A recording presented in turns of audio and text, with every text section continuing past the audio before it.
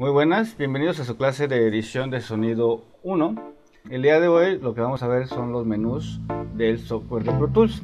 Entonces para eso por favor vamos a abrir lo que es el programa. Vamos a la carpeta de aplicaciones o al, o al Launchpad en donde lo tengan ustedes el icono. Y una vez que Pro Tools carga, lo que vamos a ver son todos los menús que están en la barra superior. Los menús que vamos a utilizar durante este cuatrimestre.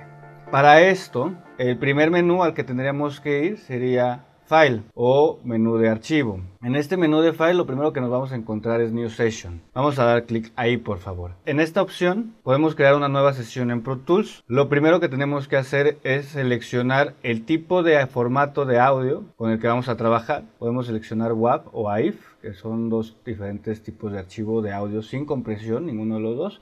Vamos a trabajar con WAP de preferencia. Y la frecuencia de muestreo, esta tendríamos que escoger en todas las prácticas que vamos a desarrollar durante este cuatrimestre, escoger 44.1 kHz. En el proyecto final habría que escoger 48 kHz, pero en todas las prácticas vamos a trabajar a 44.1 kHz. También la profundidad de bits es otro de los parámetros a escoger. Vamos a seleccionar en las prácticas una profundidad de 16 bits y en el proyecto final la profundidad que vamos a seleccionar es de 24 bits. Viene una opción de interlift o intercalado. Esta la vamos a dejar sin palomear para que nos entregue siempre canales mono. Vamos a dar OK. A partir de que damos OK nos sale este cuadro de diálogo, el cual nos pregunta el nombre de la sesión.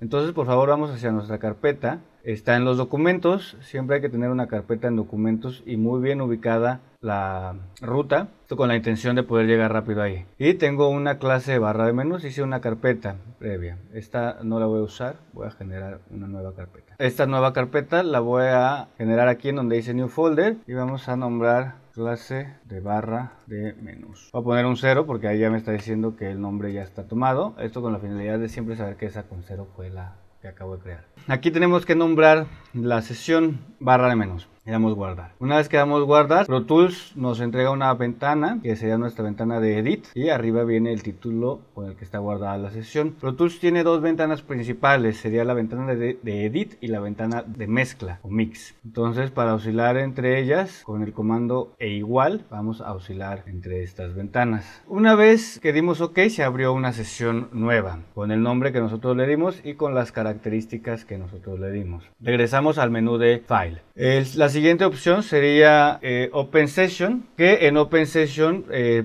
Pro Tools nos da la posibilidad de buscar una sesión que hemos creado anteriormente con este programa. La siguiente opción sería Open Recent, que bueno, abriríamos alguna sesión que ya habíamos abierto recientemente sin la necesidad de buscarla en el Finder. Y Close Session. Eh, con esta opción Pro Tools cierra la sesión actual sin salir del programa. ojo, sin salir del programa. Vemos una barra horizontal y nos viene ahora el apartado de guardado. La primera opción sería Save o Command S, que hay que estarlo aplicando constantemente, ya que Pro Tools de repente, como cualquier otro software, puede cerrar por algún error que hayamos cometido nosotros como usuario o por algún bug o error del programa. De la siguiente opción sería Save As, la cual nos permite guardar los cambios que se han hecho desde la última vez, eh, desde que se guardó la sesión. Ya no hay Control Z para eso o Command Z, es una acción que no se puede rehacer. Luego viene Save Copy In. Esta es una opción que vamos a estar utilizando durante este cuatrimestre cada vez que ustedes terminen una práctica o cada vez que ustedes terminemos el día de trabajo en la escuela. Este Save Copying es la opción que nos permite guardar una copia de la sesión actual. Vamos a dar clic aquí. Nos aparece este cuadro de diálogo, el cual lo primero que nos dice o nos da la opción es de seleccionar una versión previa de Pro Tools para guardar eh, la sesión o la copia con las características de esa versión previa. Los siguientes parámetros que nos pregunta sería qué tipo de archivo de audio quiero guardar. Vamos a, recuerden que estamos trabajando con archivos WAP y luego nos pregunta la frecuencia de muestreo. En todas las prácticas, recuerden que estamos trabajando a 44.1 kHz y en el proyecto final lo tendríamos que convertir a 48. Una vez que trabajamos la sesión y la vamos a pasar a alguien más, ahí podríamos generar la conversión durante las prácticas a 44, en el proyecto final a 48, por favor. Eh, luego nos pregunta la profundidad de bits. También durante las prácticas eh, estamos jugando con una profundidad de bits de 16 bits y en el proyecto final jugaríamos con la profundidad de bits de 24 bits. Ah, recuerden que aquí es donde pueden hacer esa conversión. Posterior a esto, viene un apartado donde están los elementos para copiar. Cada vez que nosotros terminemos una práctica o terminemos el día de clase, vamos a por favor llevarnos los audios. También nos llevaríamos lo que son los folders de los plugins, ya sea de raíz o de la sesión que se utilizó. Esto con la finalidad de que nosotros, si generamos lo que son cambios en nuestro módulo de los plugins, esos cambios que realizamos los podemos también exportar hacia la sesión que estamos copiando. En el proyecto final vamos a importar un video, entonces tendríamos la necesidad de seleccionar también los videos. Y en el Pro Tools 12, en la parte de abajo viene un apartado que también se pueden llevar un folder donde están guardando los fades o los fundidos. Una vez que seleccionamos o palomeamos los elementos que queremos copiar, damos OK y Pro Tools nos va a arrojar otra carpeta que nos está preguntando en dónde queremos guardar esta copia. Lo que acabo de hacer es seleccionar mi carpeta en donde estoy guardando esta clase y en esa misma carpeta voy a guardar. Si voy hacia el Finder ahora y entro a mis clases, en mi carpeta tengo cero clase de barra de menús, doy doble clic y aquí está mi copia que se acaba de generar. Con esta opción de Save Copy In lo que podemos hacer es una copia de seguridad. Una vez que generamos esta copia, ya está guardada, pero el trabajo que hagamos posterior al guardado se seguirá guardando en la sesión en la que estamos trabajando. Si nosotros quisiéramos que lo último que hagamos se guarde en nuestro backup, o en nuestra copia, lo que hay que hacer es la copia, hacerla hasta el final. Recuerden que solo es un backup. Eh, save as template o guardar un template o guardar una plantilla. Eh, tenemos una clase específica para esto, está en ruteo. Luego viene revert to save, que sería todo lo que se ha desarrollado durante la práctica. Eh, si damos revert to save, se va a reiniciar, que es como si realmente no hubieran hecho ningún proceso. Se va a ir hacia el primer punto en el que abrieron la práctica.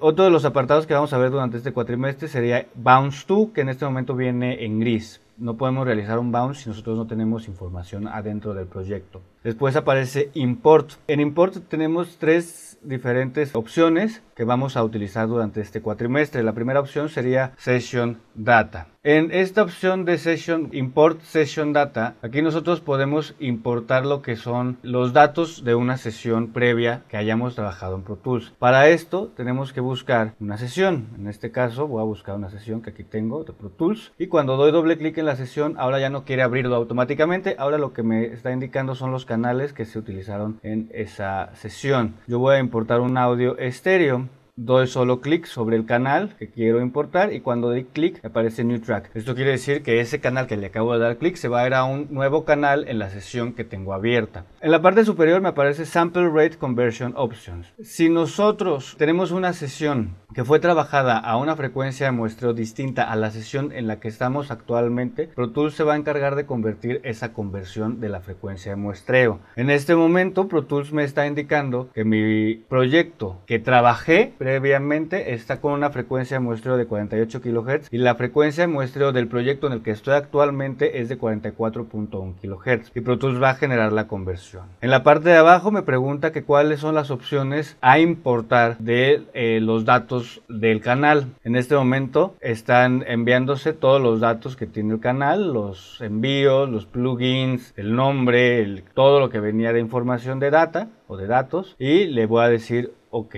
Para darle OK, en el caso de, la, de, mi pantalla, mi resolución de mi pantalla es más chica, entonces no, no, alcanzo a ver el OK, está aquí abajo. Puedo dar Enter. Una vez que doy Enter, Pro Tools procesa el audio y lo importa hacia la práctica. Si yo lo quiero escuchar, bien, tengo que asignar mi canal de salida. Lo asigno hacia mi salida física 1 y 2. Y lo que voy a hacer es dar play. En este momento ya estamos enviando señal de audio hacia mi salida física y ya puedo escuchar.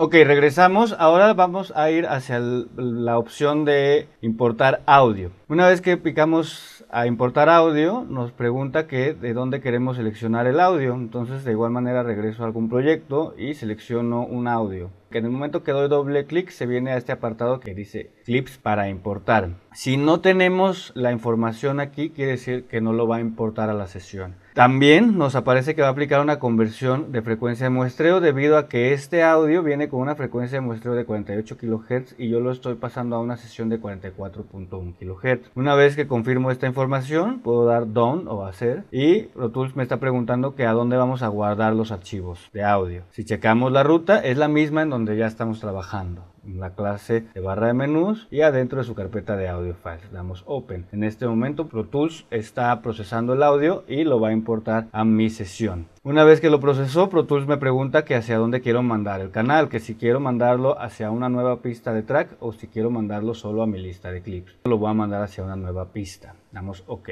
Ya tenemos lo que es la información en mi segundo canal. Y si queremos escucharlo bien lo que hice fue mutear el primero y solo doy play en este momento ya estamos escuchando esta información. Ok, vamos hacia la siguiente opción, que sería importar video. Aquí en importar video habría que buscar un archivo de video, en este caso tengo este punto .move y simplemente le damos doble clic. Ahora Pro Tools nos pregunta que si lo quiero mandar también a un nuevo canal, lo cual si quisiera, y que si queremos importar el archivo de audio que tiene este archivo. Le vamos a decir que sí. Cuando le damos clic en OK se genera un nuevo canal. Me pregunta que hacia dónde quiero mandar el archivo de audio o la información de audio. La quiero mandar al mismo carpeta de audio files. Doy Open lo procesa Pro Tools y una vez que lo procesa, voy a hacer la pantalla un poquito más chica del video, una vez que lo procesa, bien ya tengo dos canales nuevos, un canal de video y el canal del audio, si yo quisiera solo escuchar este canal de audio, muteé los otros dos canales o puedo ponerle solo a ese canal y voy a dar enter. Ahora empieza a reproducir Pro Tools el video y estamos reproduciendo el audio de ese video. Estas son las tres opciones que vamos a utilizar en el menú de file o de archivo para poder importar datos. Ahora, si vamos hacia el Finder o hacia el explorador, vamos a también corroborar que toda la información de esa clase de barra de menús, yo la tengo los audios que he importado en mi respectiva carpeta de audio. Ahora, si yo quisiera pasar mi proyecto hacia otra persona, yo lo único que tengo que hacer es seleccionar esta carpeta de barra de menús que contiene nuestro proyecto de Pro Tools y toda la información de audios que ya está en el proyecto y copiarla hacia una USB o hacia la nube o hacia donde lo puedan mandar para que la otra persona lo pueda recibir.